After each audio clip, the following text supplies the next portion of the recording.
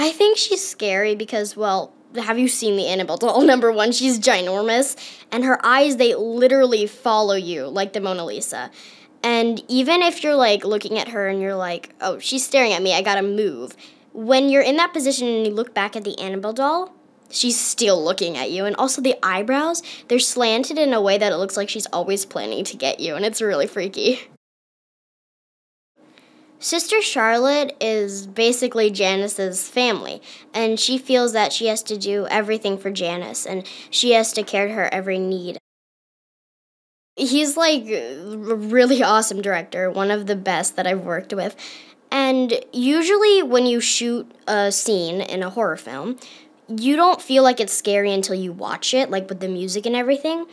But when I'm doing the scene with David, he makes it feel really scary when I'm doing it, and that doesn't always happen.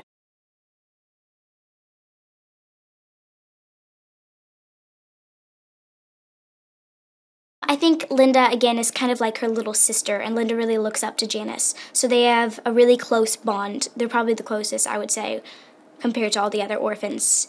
But her and Linda are like sisters, they're inseparable, and they've been friends ever since they were little. It's been really nice working with David. He's kind of like he's kind of like a big Swedish teddy bear.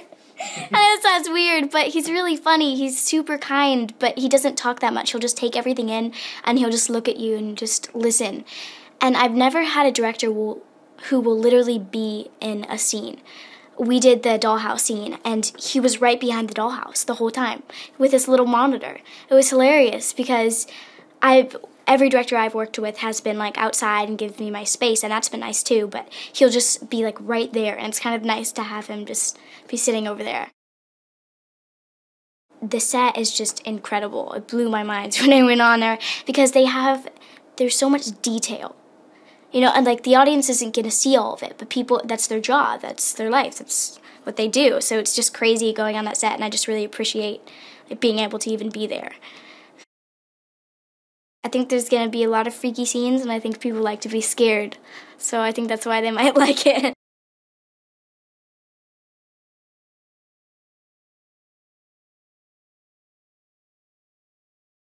I'm exactly not that sure of my relationship with Janice. I feel like I'm her friend, but I'm kind of getting older. I'm not in the 10 year old group anymore, so I'm kind of hanging out with Carol and Nancy and they've accepted me into their group, and I'm more close with them, but I'm definitely still friends with Janice. My sister Charlotte, she's really, I don't know, laid back for a nun, like, but she's super nice to all the orphans. I mean, I guess we all know who's her favorite, but yeah, she's really nice to us. She's always like there for us, kind of over there protecting us.